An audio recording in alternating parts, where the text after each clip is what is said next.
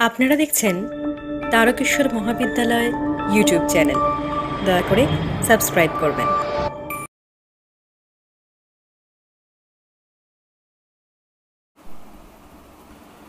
নমস্কার বন্ধুরা, আশা করি তোমরা প্রত্যেকেই ভালো আছো। আজকে আমরা পার্টনারশিপের নতুন একটা টপিক নিয়ে আলোচনা করব।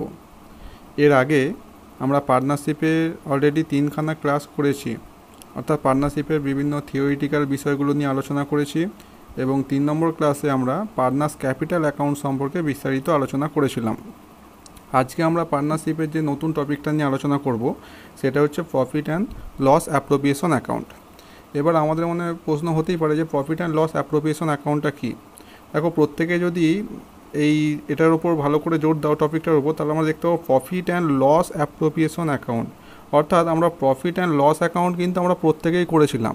ক্লাস ইলেভেনে আমরা যখন সোল প্রোপাইটারশিপের ফাইনাল অ্যাকাউন্ট করেছিলাম, সেখানে আমরা দেখেছিলাম প্রথমে ট্রেডিং অ্যাকাউন্ট তারপর প্রফিট অ্যান্ড লস অ্যাকাউন্ট করেছিলাম। অর্থাৎ প্রফিট অ্যান্ড লস অর্থাৎ লাভ, ক্ষতি হিসাবটা আমরা প্রত্যেকেই জানি।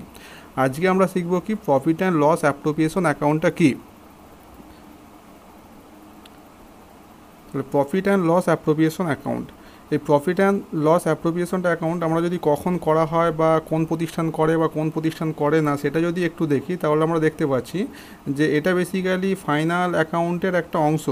অর্থাৎ ট্রেডিং কনসার্ন অর্থাৎ যেগুলো শুধুমাত্র ব্যবসায়িক প্রতিষ্ঠান এবং সোল প্রোপাইটারশিপ অর্থাৎ এক মালিকী প্রতিষ্ঠানের ক্ষেত্রে এই প্রফিট অ্যান্ড লস অ্যাপ্রোপ্রিয়েশন করার দরকার নেই।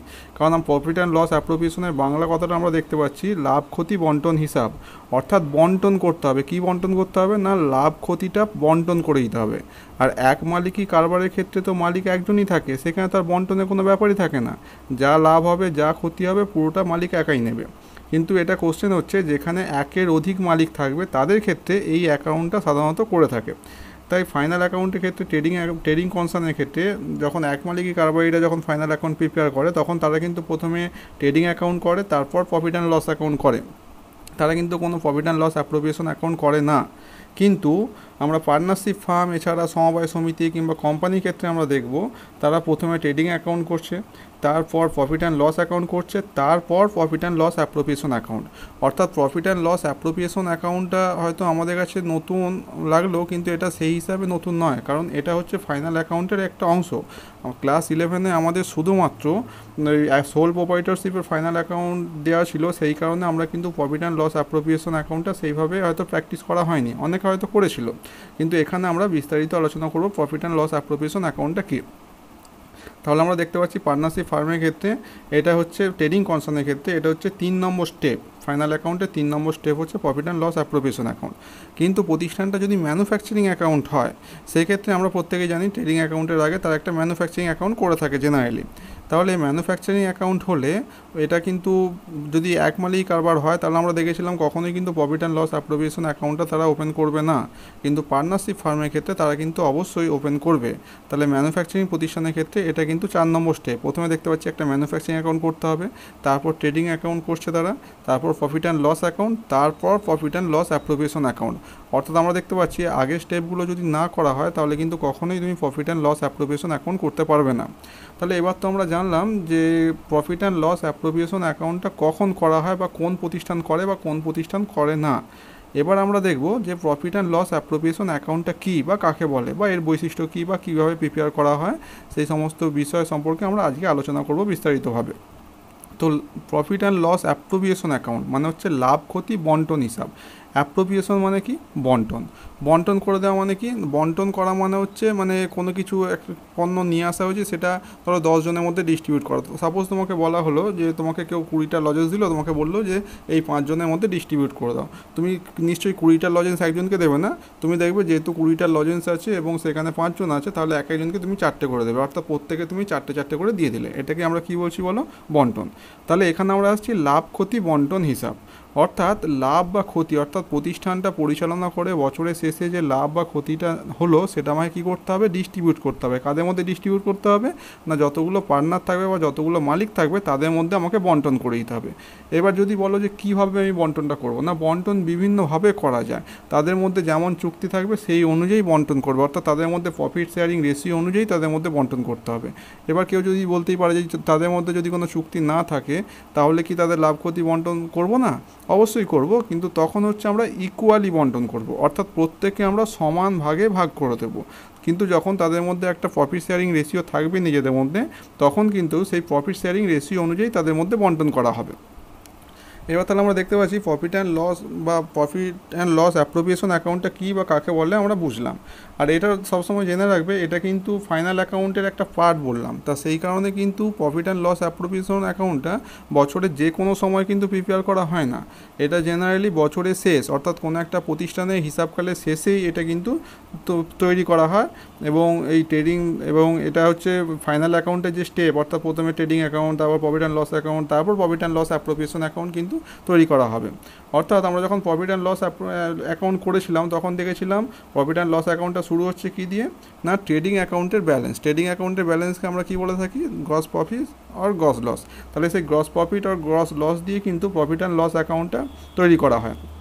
একইভাবে প্রফিট অ্যান্ড লস অ্যাপ্রোপ্রিয়েশন অ্যাকাউন্টটা শুরু হবে কিন্তু প্রফিট অ্যান্ড লস অ্যাকাউন্টের ব্যালেন্স দিয়ে। অর্থাৎ প্রফিট অ্যান্ড লস অ্যাকাউন্টে কী ব্যালেন্স বেরোয়? প্রিপেয়ার করার পর না দেখেছি আমরা নেট প্রফিট কিংবা নেট লস বের হয়। তাহলে সেই নেট প্রফিট বা নেট লস দিয়েই কিন্তু আমরা কী করব? প্রফিট অ্যান্ড লস কিন্তু অ্যাপ্রোপ্রিয়েশন অ্যাকাউন্টটা তৈরি করব।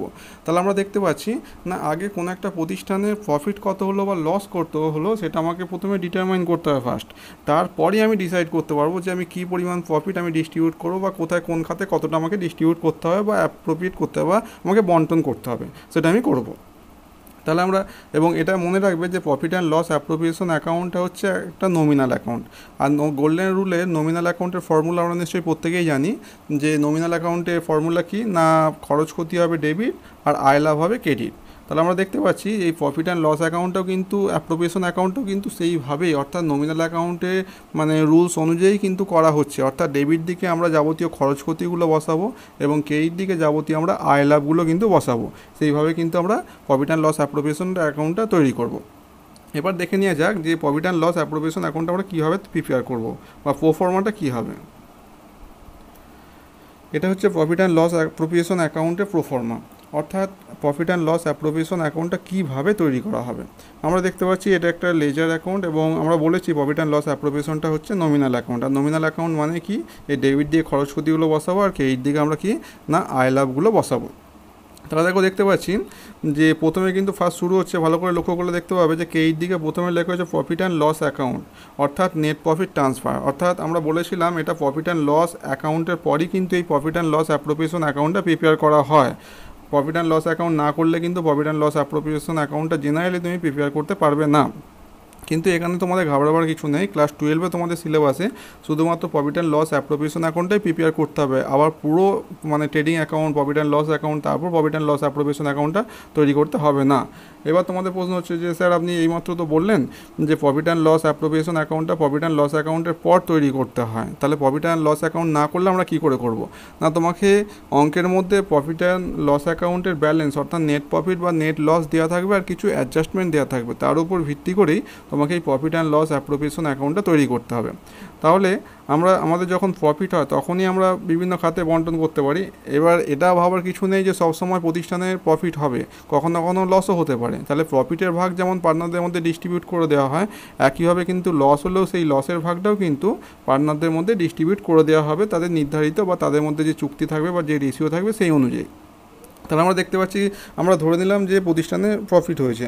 তো প্রফিট মানে হচ্ছে কি লাভ? তাহলে আয় লাভ নমিনাল অ্যাকাউন্টে কেইট হয়, সেজন্য কেইট দিয়ে কিন্তু প্রফিট অ্যান্ড লস অ্যাকাউন্ট বসিয়েছি। এবার যাবতীয় খরচগুলো আমরা কিন্তু ডেবিট দিকে বসিয়েছি। খরচ বলতে দেখো, এখানে interest on capital partner salary partners commission partners loan ইত্যাদিগুলো কিন্তু আমরা ডেবিট দিকে বসিয়েছি। এবার তুমি বলতেই পারো যে এইগুলো তো পার্টনারদের আয় হচ্ছে, তাহলে এখানে আপনি খরচ কেন বলছেন? না, আমরা কিন্তু সবসময় অ্যাকাউন্টসটা প্রিপেয়ার করছি প্রতিষ্ঠানের দিক থেকে। পার্টনারদের আয় হচ্ছে, কিন্তু প্রতিষ্ঠানের কাছ থেকে তো টাকাটা যাবে, প্রতিষ্ঠান তো পার্টনারদেরকে দিচ্ছে, তাহলে প্রতিষ্ঠানের কী হচ্ছে? খরচ হচ্ছে। সেই কারণে কিন্তু খরচগুলো আমরা ডেবিট দিকে বসিয়েছি। আর এই ইন্টারেস্ট অন ক্যাপিটাল কি বা স্যালারি কমিশন পার্টনার্স লোন এগুলো কিন্তু আমরা এর আগের ক্লাসে অর্থাৎ পার্টনারশিপের যে এর আগের ক্লাসে থিওরিটিক্যাল ক্লাসে আমরা অলরেডি আলোচনা করেছিলাম। এছাড়াও আমরা দেখতে পাচ্ছি, কিন্তু ইন্টারেস্ট অন ড্রয়িংস আমরা দেখতে পাচ্ছি কে এই দিকে বসিয়েছি। কেন বসিয়েছি? না ইন্টারেস্ট অন ড্রয়িংস হচ্ছে পার্টনারদের কাছ থেকে পাওয়া যায়।